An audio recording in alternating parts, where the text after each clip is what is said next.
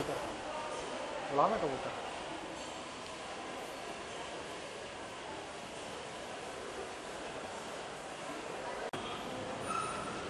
हम लोगों को बहुत अच्छा लग रहा था कि इसमें महिलाएँ आएँगी इनको सुविधा मिलेगी। कि ये तो कबूतर खाना बन गया है इसमें कबूतर रह रहे हैं। अब करोड़ों रुपए की लागत में तैयार हुआ है। अभी तक नहीं चालू हुआ। इस बिल्डिंग को बनाने में सरकार को लगभग उन्नीस उन्नीस सौ चौबीस दशमलव दो तीन लाख की लागत लगाई गई थी।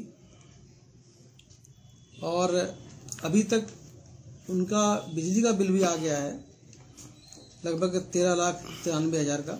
तो सर अस्पताल शुरू नहीं हुआ बिजली का बिल पहले आ गया?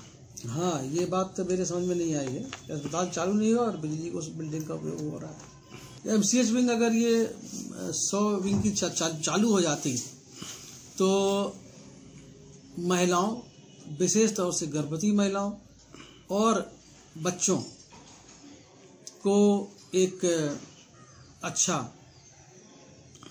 उपचार, इलाज मिल सकता। महिलाओं और बच्चों को गुणवत्तापूर्ण इलाज मिल सके, इसके लिए सरकार ने 19 करोड़ 24 लाख रुपए की लागत से जिला अस्पताल के अंदर एक सौसैया का महिला अस्पताल बनवाया था। लेकिन अस्पताल एक साल हो जाने के बाद भी अभी तक संचालित नहीं हो पाया है। अस्पताल के अंदर मरीज़ की बजाय कबूतर रह रहे हैं। गेट पे ताला पड़ा हुआ है और हैरान कर देने की बात यह है कि अस्पताल बंद है और करीब तेरह लाख रुपए का बिजली का बिल भी आ गया नित्य मिश्रा, ईटीवी भारत, कन्नौज।